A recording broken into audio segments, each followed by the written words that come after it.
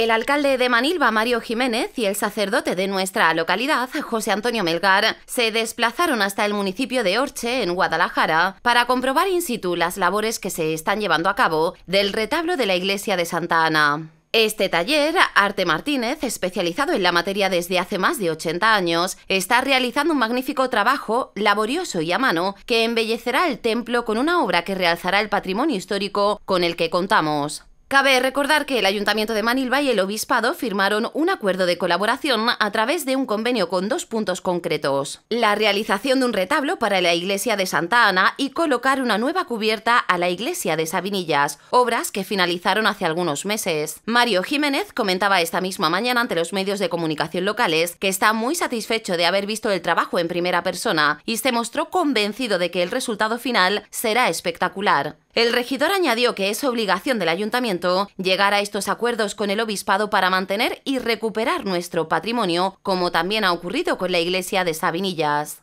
Bueno, ayer tuvimos la oportunidad con nuestro párroco, con San Antonio, que al que agradezco que nos acompañara a, ver in situ el taller de artesanos donde se está ya trabajando en la confección de este gran retablo de más de 12 metros de altura que lucirá en la iglesia Santana. Pues la verdad es que muy contento por ver in situ cómo se hacen mm, los trabajos, cómo se está elaborando poco a poco ese retablo, totalmente artesanal, es una cosa que es manual y que, y lucirá mm, nuestra, toda la belleza de la iglesia Santana. ¿no? La recuperación del patrimonio de nuestro municipio es fundamental para nosotros, la iglesia es algo muy nuestro, algo que todos los manilbeños pues conocemos desde siempre y, creo que es obligación del ayuntamiento llegar a estos acuerdos de colaboración con el obispado para, para conservar y mantenerla. De modo que muy contento por haber visto in situ, eh, satisfecho también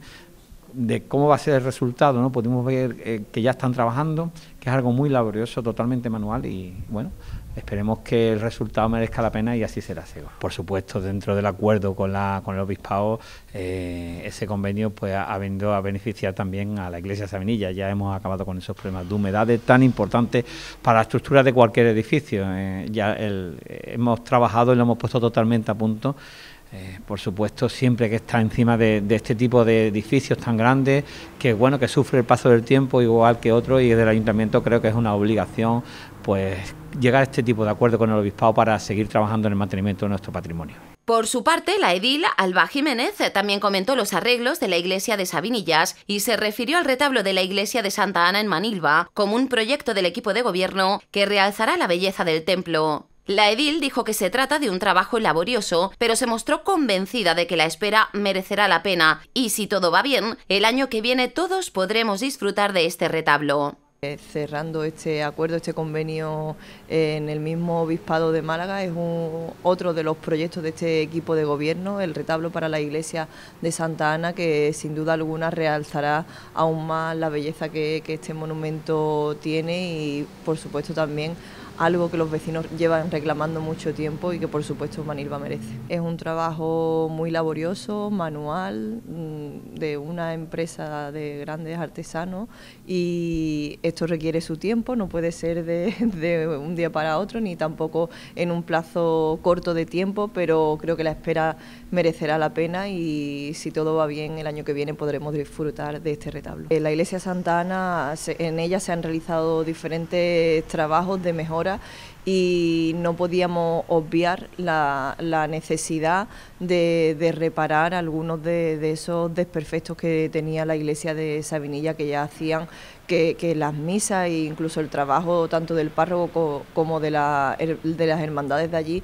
pues cada vez se hiciera de una manera más dificultosa porque eh, entraba el agua, el tejado y el techo estaba eh, cada vez más deteriorado y bueno, para que se hiciera esto también reclamamos al obispado pues que se hicieran cargo o firmaran también en ese convenio las labores de, pues, rehabilitación de, esa cubierta de la, de la iglesia de Sabinilla. Así fue y ha quedado en un perfecto estado y todos los vecinos de Sabinilla también muy contentos con ella.